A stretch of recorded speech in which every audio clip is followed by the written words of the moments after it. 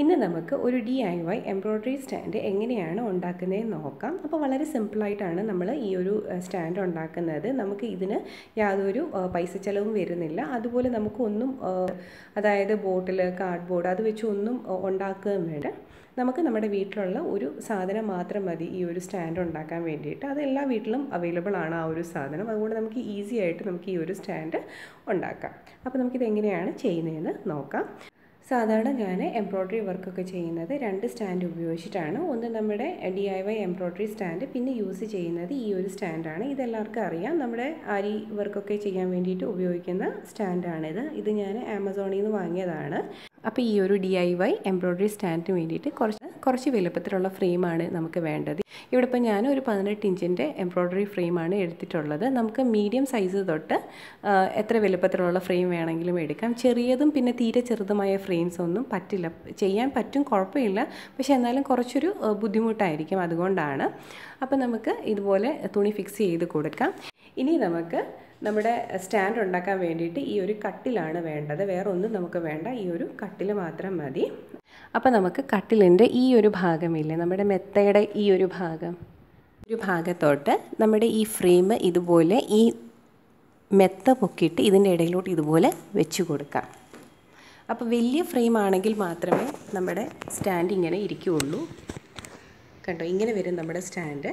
അപ്പം ഈ ഒരു പോർഷനിൽ നമുക്ക് സ്റ്റിച്ച് ചെയ്യാം. ഒരു ഭാഗം സപ്പോർട്ടായിട്ട് അവിടെ നിൽക്കും. ഇവിടെ നമുക്ക് സ്റ്റിച്ച് ചെയ്യാം. അപ്പോൾ ഞാൻ ഇതിനകത്ത് സ്റ്റിച്ച് ചെയ്തും കൂടെ കാണിക്കാം. അപ്പോൾ നമുക്കിത് ഒന്നിന്റെ സപ്പോർട്ട് വേണ്ട. ഇങ്ങനെ വെച്ച് കൊടുത്താൽ മതി. നമ്മുടെ സ്റ്റാൻഡ് അവിടെ ഇരുന്നോളും. അപ്പോൾ നമുക്ക് ഈ ഒരു സ്റ്റാൻഡിൽ സ്റ്റിച്ച് ചെയ്യാം. ഇതുപോലെ ഞാൻ ത്രെഡ് എടുത്തിട്ടുണ്ട്. അപ്പം നമ്മൾ സാധാരണ എംബ്രോയ്ഡറി സ്റ്റാൻഡിലൊക്കെ തയ്ക്കുന്ന പോലെ ഇതേപോലെ സ്റ്റിച്ച് ചെയ്ത് കൊടുത്താൽ മതി. നമ്മൾ പിടിക്കേണ്ട ആവശ്യമൊന്നുമില്ല. ഇതുപോലെ സ്റ്റിച്ച് ചെയ്ത് കൊടുത്താൽ മതി. കണ്ടോ നമ്മൾ ആരി സ്റ്റാൻഡിലൊക്കെ വർക്ക് ചെയ്യുന്ന പോലെ തന്നെ രണ്ട് കൈയും ഉപയോഗിച്ചിട്ട് നമുക്കിതുപോലെ സിമ്പിളായിട്ട് വർക്ക് ചെയ്യാം. ഇവിടെ ഇപ്പം ഞാൻ ലേസി ലേസി സ്റ്റിച്ചാണ് തയ്ക്കുന്നത്.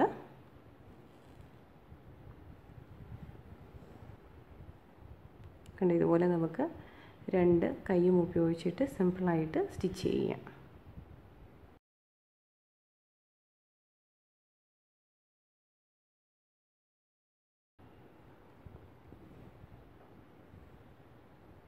അപ്പോൾ നമ്മുടെ കയ്യിൽ സ്റ്റാൻഡൊന്നും ഇല്ലയെന്നുണ്ടെങ്കിൽ വളരെ പെട്ടെന്ന് തന്നെ ഒരു മിനിറ്റ് പോലും വേണ്ട നമുക്ക് ഈ ഒരു സ്റ്റാൻഡ് ശരിക്കും ഉണ്ടാക്കാൻ. ഒരു വലിയ എംബ്രോയ്ഡറി ഫ്രെയിം വേണമെന്ന് മാത്രമേ ഉള്ളൂ. ഫ്രഞ്ച് നോട്ടൊക്കെ ആണെങ്കിലും വളരെ സിമ്പിളായിട്ട് ഇതുപോലെ സ്റ്റിച്ച് ചെയ്ത് കൊടുക്കാം. കണ്ടോ? ഇങ്ങനെ. അപ്പം ഈ ഫ്രെയിമിന്റെ ഈ ഒരു ഭാഗം എന്ന് പറയുന്നത് നല്ല ടൈറ്റായിട്ടാണ് ഇരിക്കുന്നത്. അതുകൊണ്ട് ഈ ഫ്രെയിം ഇളകി പോത്തൊന്നുമില്ല. അല്ലെങ്കിൽ താഴെ വീഴും അങ്ങനത്തെ പേടിയൊന്നും വേണ്ട. അപ്പോൾ ഇതുപോലത്തെ വലിയൊരു എംബ്രോയ്ഡറി ഫ്രെയിം ഉണ്ടെങ്കിൽ നമുക്ക് വളരെ പെട്ടെന്ന് തന്നെ ഒരു D I Y embroidery stand ഉണ്ടാക്കാം.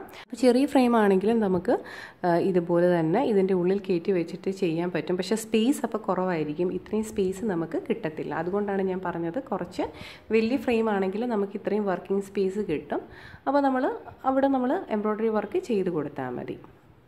അപ്പോൾ ഇന്ന് കാണിച്ച ഈ ഒരു വീഡിയോ എല്ലാവർക്കും ഇഷ്ടപ്പെട്ടു എന്ന് വിചാരിക്കുന്നു. എല്ലാവരും ട്രൈ ചെയ്ത് നോക്കുമെന്ന് വിചാരിക്കുന്നു.